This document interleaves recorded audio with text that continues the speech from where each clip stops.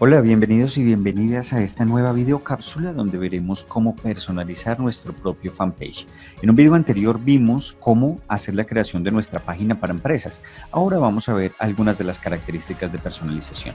En la parte izquierda vamos a encontrar una barra de menús donde vamos a poder encontrar muchísimas de las características eh, más utilizadas a la hora de configurar nuestra herramienta, pero el, nos vamos a enfocar en esta videocápsula en revisar la configuración. En la configuración pues vamos a tener muchísimas opciones, también vamos a tratar de ser muy breves.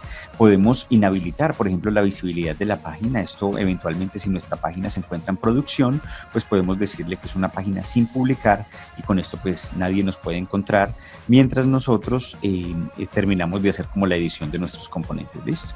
Aquí les decimos que si queremos algo más de información, podemos eh, identificar todos estos aspectos y decirles pues que nos envíen más información. Qué chévere poder recibir eh, las notificaciones de que nuestra página eh, va a recibir como buenas recomendaciones por parte de Facebook.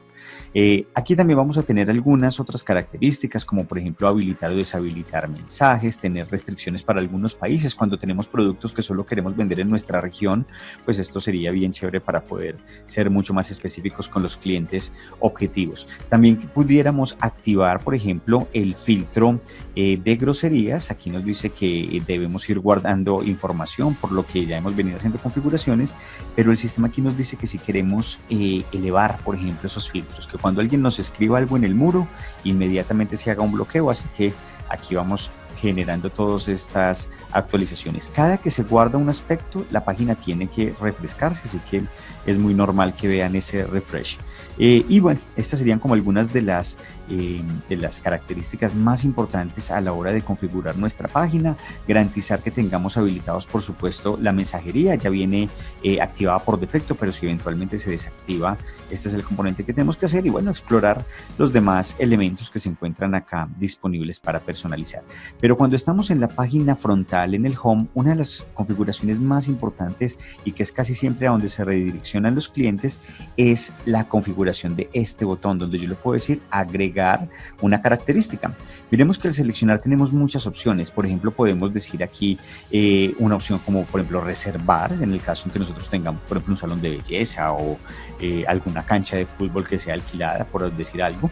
Eh, elegir la opción de llamar, que un cliente exactamente cuando dé clic en ese botón nos llame de forma automática si está conectado desde el celular. O por qué no que nos escriba a través del Messenger o del WhatsApp. Cualquiera de estas opciones se pueden configurar en cualquier momento y si ya tenemos nuestra cuenta de correo electrónico, pues también nos pueden escribir al correo para solicitarnos más información.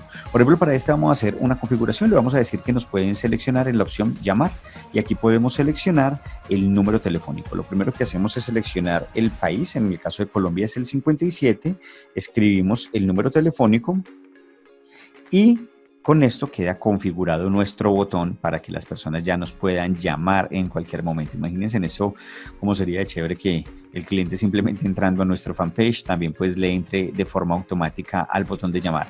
Pero también hay muchas otras opciones. Por ejemplo, miremos la opción de editar este botón para que se convierta en un mensaje de Messenger que inmediatamente nos lleve al Messenger y el cliente se pueda comunicar con nosotros.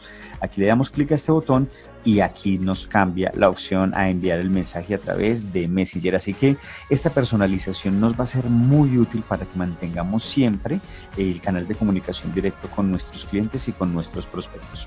Los y las invitamos a que continúen explorando todos estos demás recursos que tiene WhatsApp Business, herramientas muy sólidas para poder consolidar los modelos de negocio, para poder consolidar los modelos de negocio y pues esperamos vernos en una próxima videocápsula para que sigamos aprendiendo más acerca de estas herramientas de adaptación digital.